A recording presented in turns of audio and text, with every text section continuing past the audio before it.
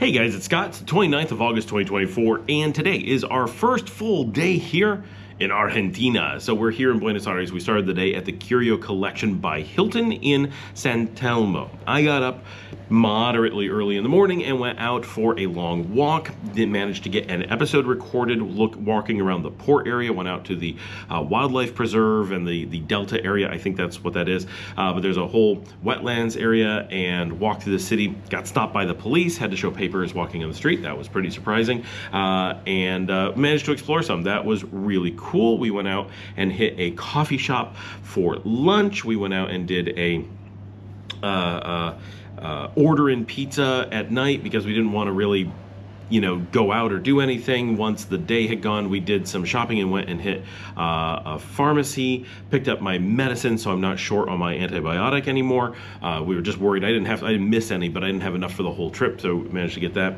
Uh, picked up a few little things that we need, so we're completely well stocked. We hit a grocery store this evening, uh, got a bunch of frozen veggie stuff, got some different things to try.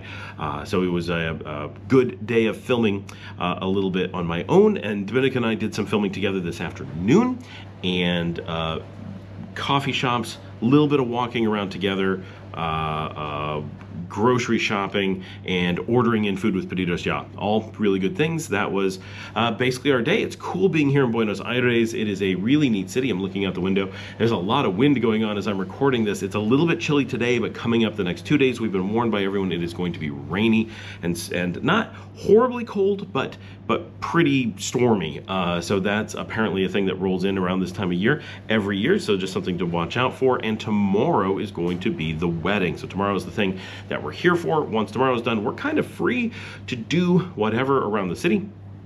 So we're, we're not quite sure what we're going to do yet. We're talking about maybe going out to Mendoza and exploring the wine country a little bit. Maybe we'll take a ferry over to Uruguay.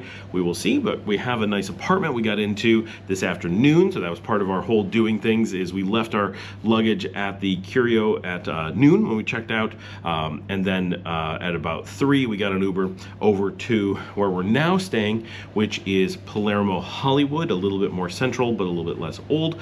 And uh, it's a beautiful area as well. Um, and uh, uh, it, it's pretty cool. So we're going to be here for the next 11 days, and uh, see you guys tomorrow.